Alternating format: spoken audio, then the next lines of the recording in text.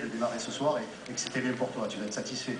Ben, c'est sûr, satisfait. Maintenant, on va essayer de gagner cette partie et d'honorer ce, ce maillot vert.